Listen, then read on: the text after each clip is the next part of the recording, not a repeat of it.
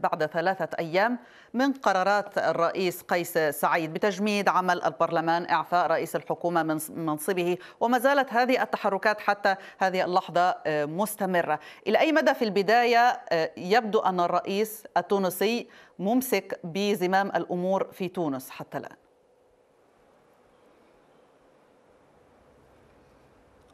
شكرا آه، في البداية أشكركم على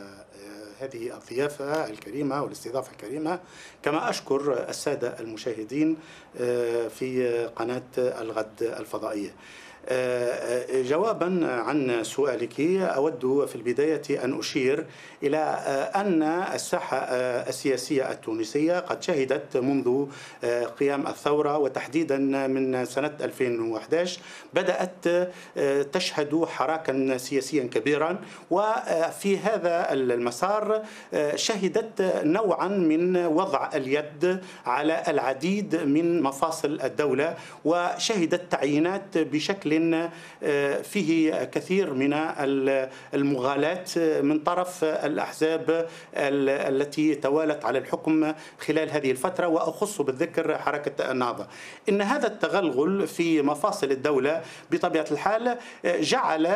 كل المرافق تشل وخاصة المرافق الكبرى الهامة مثل مرفق القضاء ومرفق الأمن وغير ذلك من المرافق. لذلك كان لزاما لزاما على سيادة الرئيس وهو ينطلق في هذا المشروع آه، أن يبدأ بتنظيف الساحة لأنه لا يمكن أن ننشئ إذا إنجازا معينا وبناء خاصة ورئيس الجمهورية يعد التونسيين من خلال هذه الإجراءات بإعطاء انطلاقة جديدة لتونس وبإعطاء وضع جديد لتونس وبإعطاء مشهد سياسي جديد لتونس ينعم فيه التونسيون بخيرات بلادهم. لا يمكن لرئيس الجمهورية أن ينشئ هذا التغيير وهذا هذا هذا هذه الانطلاقة لا يمكن أن ينجزها بمن كانوا سببا في هذا الإفلاس بمن كانوا سببا في هذه الأزمة. لذلك كان لزاما عليه أن ينطلق في هذا ال ال ال